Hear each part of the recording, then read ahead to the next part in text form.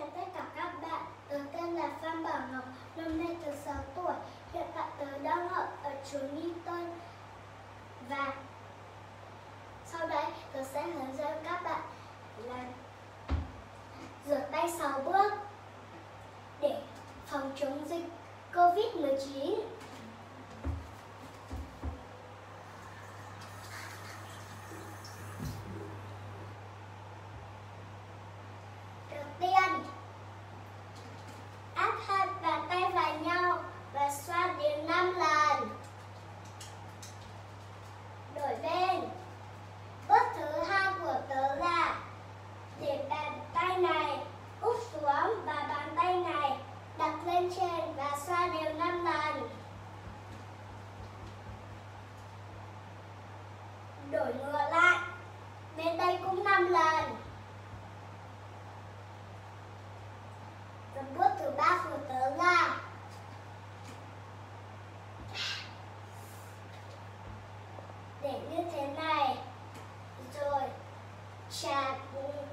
ឆ្លាងមាត់តៃបង្កា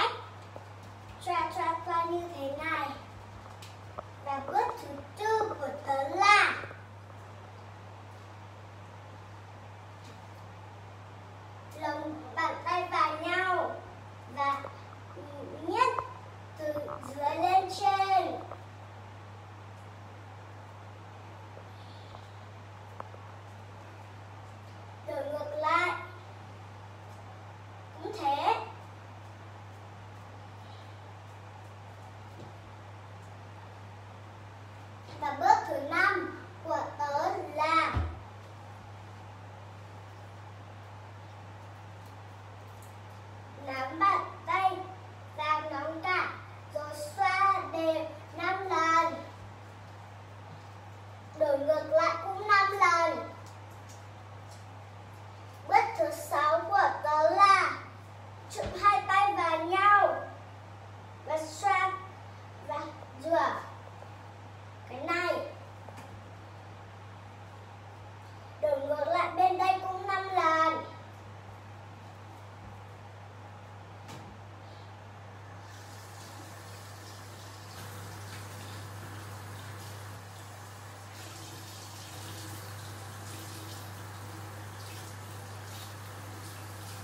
chú ý, khi khi bật nước chúng ta sẽ ngưỡng bàn tay lên trên. Như thế này các bạn chú ý nhé.